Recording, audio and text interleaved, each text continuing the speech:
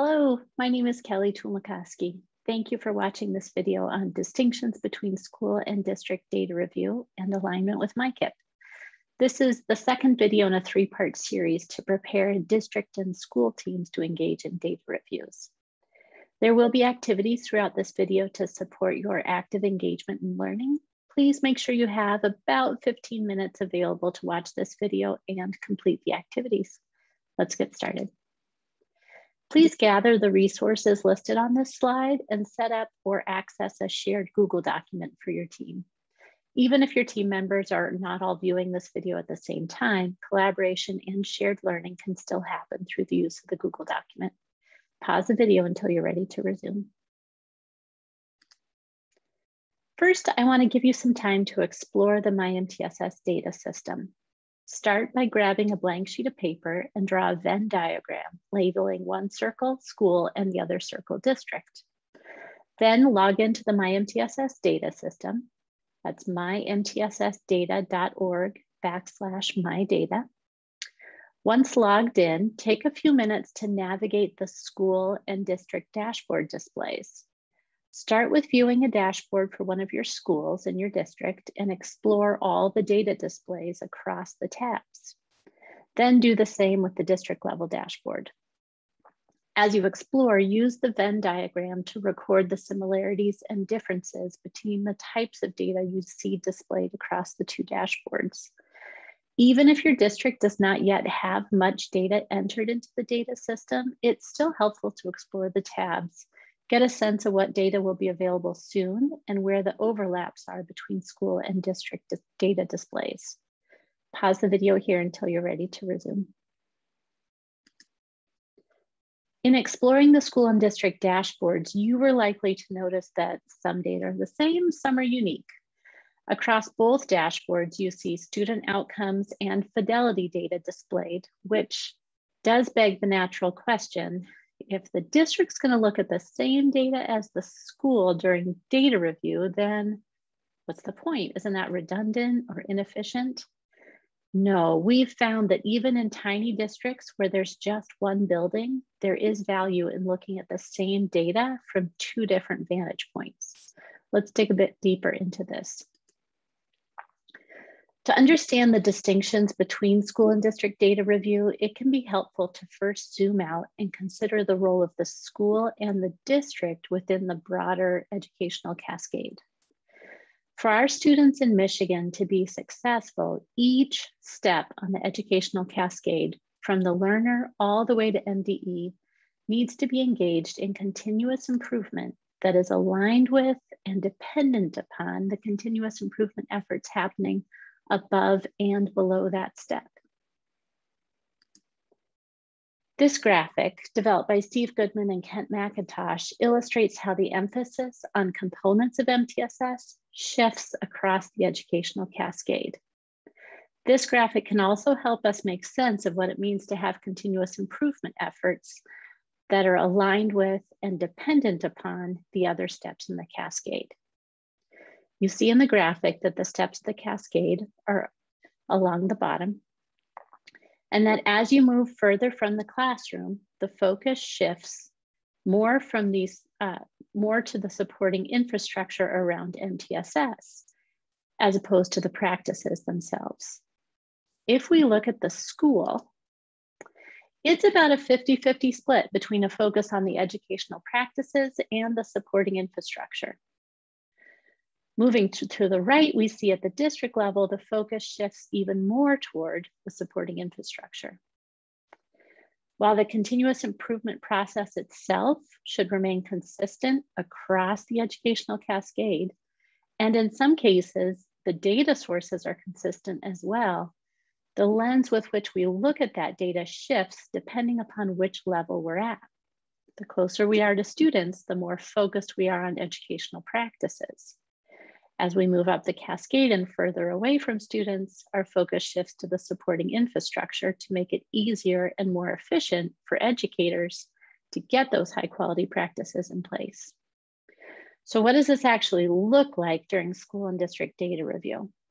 At the school level, the school leadership team will consider how fidelity of MTSS implementation impacts their school-wide outcomes.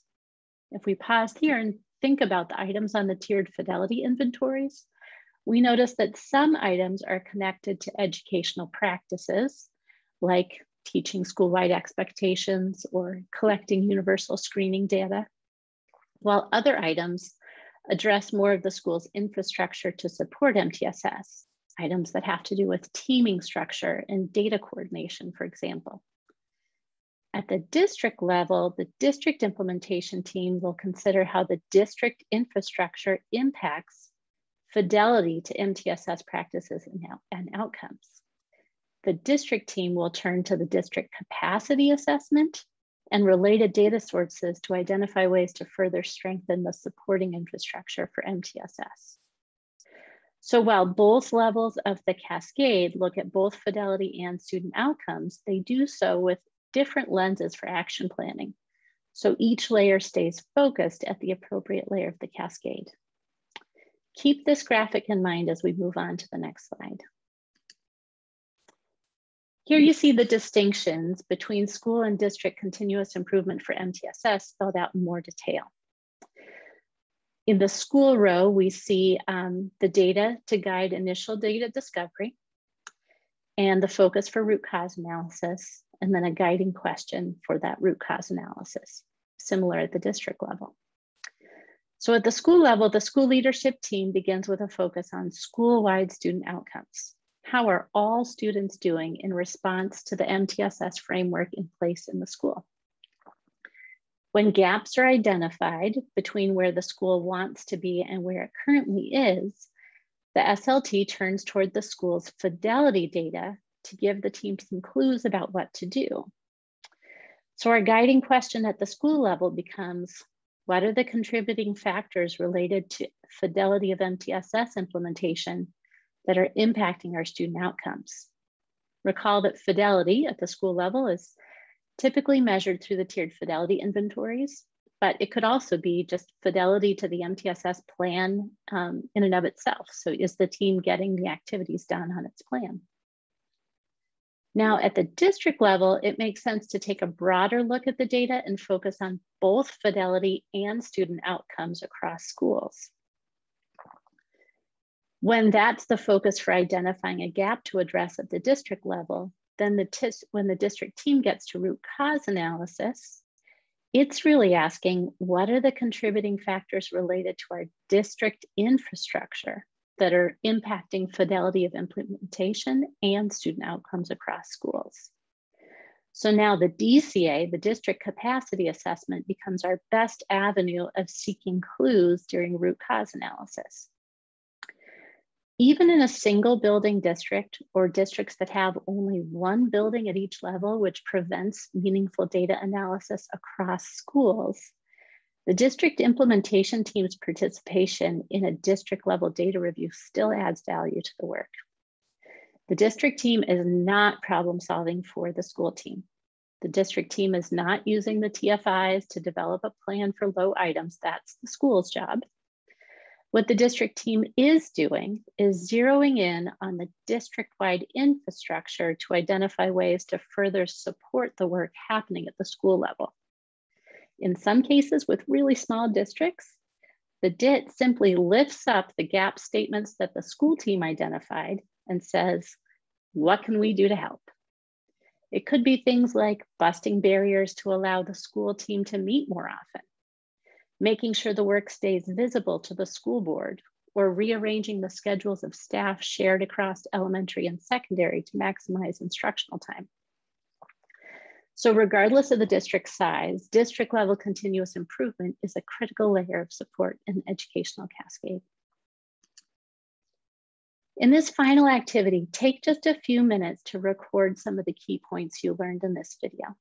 Pause here until you're ready to resume.